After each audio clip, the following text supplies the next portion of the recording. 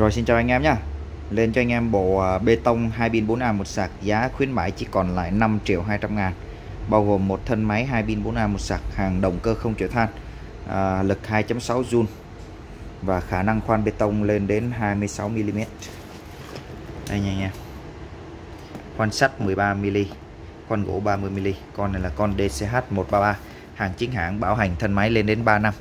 Pin và sạc bảo hành 1 năm 1 đổi 1 đây là full bộ của nó nha anh em. Một máy, hai pin 4 ampe, một sạc. Bộ này thì à, theo giá niêm yết thì nó nằm khoảng hơn 6 triệu. Và khuyến mãi cho anh em còn lại 5 triệu 200 ngàn. Anh em quan tâm đến bộ khoan bê tông liên hệ. Rồi, cảm ơn anh em.